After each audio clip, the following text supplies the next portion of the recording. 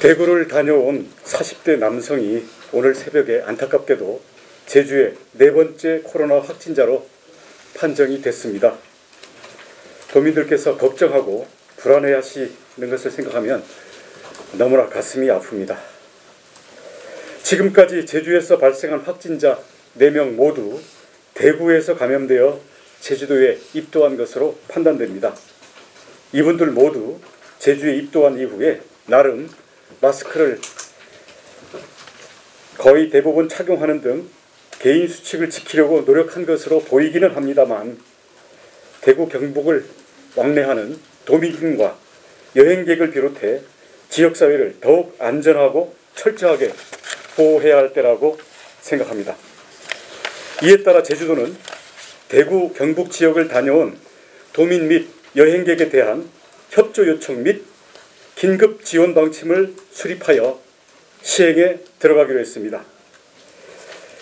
대구 제주 간 항공기 운항은 2월 29일부터는 하루에 두 편으로 줄었습니다. TA 항공입니다. 탑승객은 하루 2, 300명 수준입니다.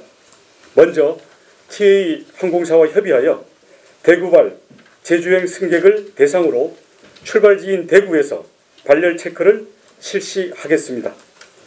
또한 기내에서는 감염 예방을 위한 수칙과 도내 선별 진료소에 대해서 기내 방송으로 안내하도록 하겠습니다.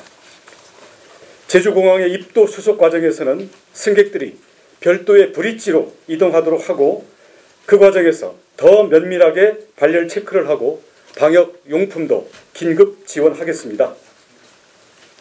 항공사 그리고 공항공사와 긴밀한 협력을 통해 안내와 관리를 더욱 강화하도록 하겠습니다. 오늘 아침에 항공사 및 공항공사와 협의를 마친 상태입니다.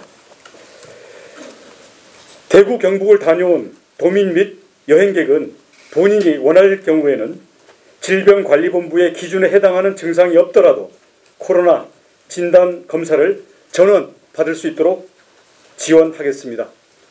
오늘 새벽에 확진된 4번 확진자의 경우에는 한라병원의 선별 진료소에 며칠 전에 방문을 했지만 당시에는 발열 증상이 없어서 화상으로 면담만 하고 돌아간 사실이 있습니다.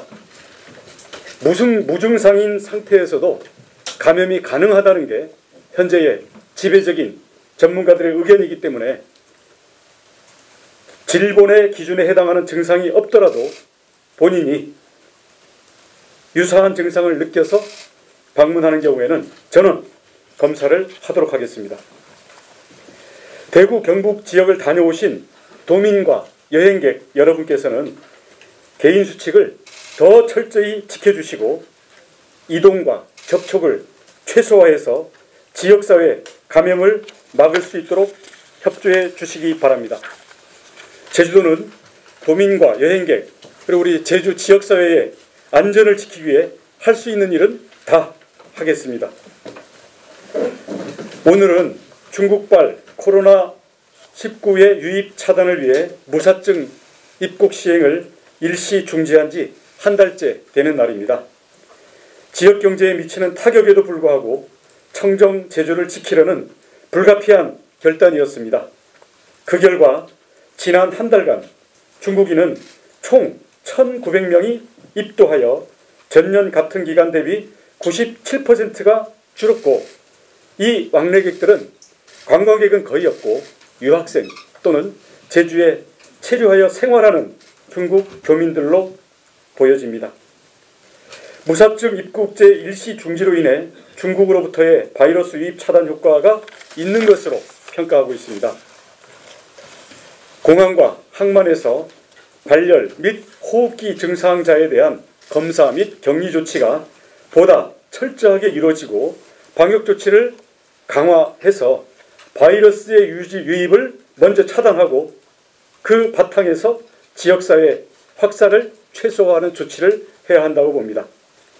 코로나 사태 이후에 제주도는 감염병 예방법에 근거하여 제주공항 도착 승객을 대상으로 발열 검사를 자체적으로 실시하고 있습니다.